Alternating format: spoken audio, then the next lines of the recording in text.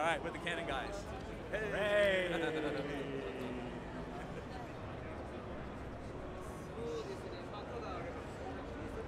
So tell me again what we're doing. Uh, this is a Kokomo, uh, which is a virtual reality system.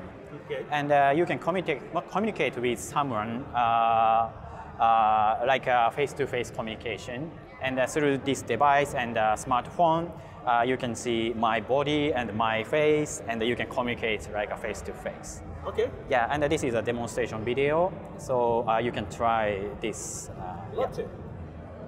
So basically, you have a 3D environment, yeah. but you've got like basically a 2D flat person talking to you now. Yeah, So yeah. you could, I guess, I can use any type of live streaming or so, right? Yeah, that's right, that's right.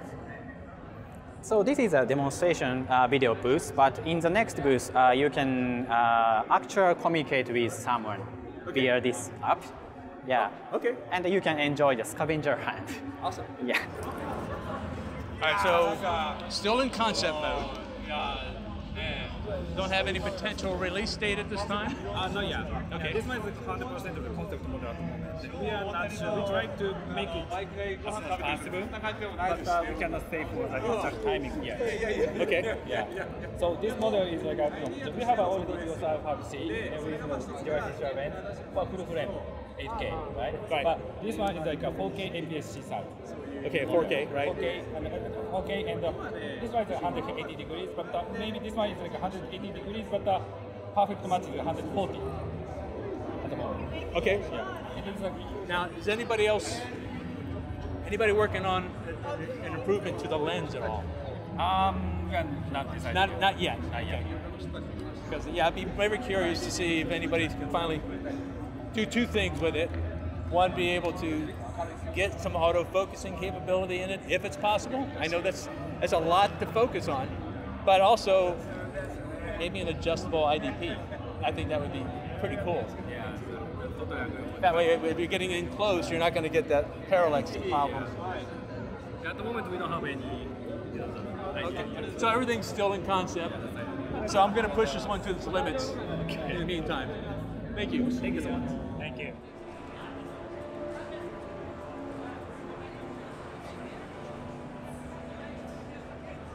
All right, we're in the Canon booth at this moment, and we got, you know, I got a chance to see some of the dual lens, some of the 3D immersive.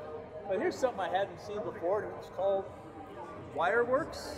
No, so Vireworks is actually uh, one of the partner companies we're working with. The system I work on is called Free Viewpoint System, and that is Canon's volumetric capture solution. So what that means is, just like the content you can see on the screen to your left, what we're doing is we're capturing an entire space, an entire interaction between multiple people, and we can, in real time, create a 3D representation of that to be able to present you with new, fun views that you could have never seen any other way. So for uh, things like basketball game, we could do shots like this, where we're following the player, and giving you almost that 2K-like view, which you could never do with any traditional broadcast setup in, a, in an NBA arena.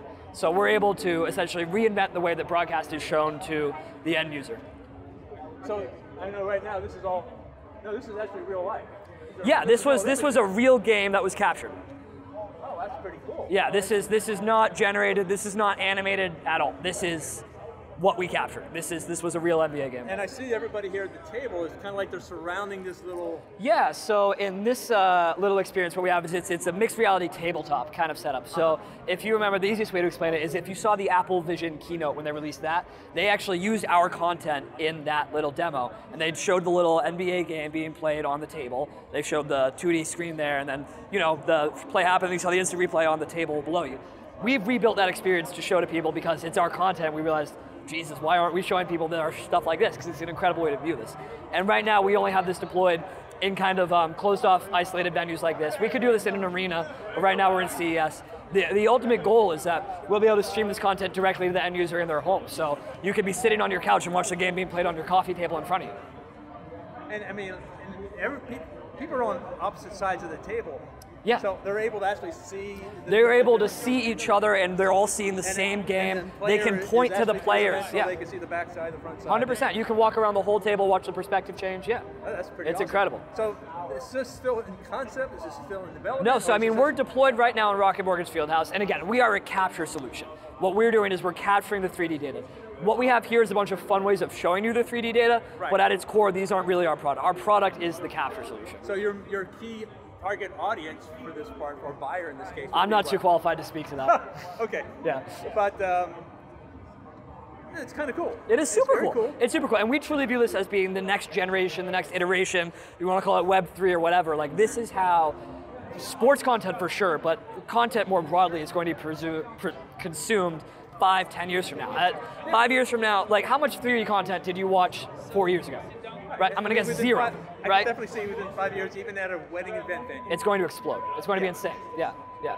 And I mean, right now it's basketball games, but if we're going to talk about preservation and heritage, right, th- this extends so further, so much further. Like imagine saving a Tchaikovsky's The Black Swan, or or any incredible moment in history that we knew where it was going to happen. We can be ahead of it, and we can preserve that for every generation. holodeck here, Yeah, yeah, yeah, yeah.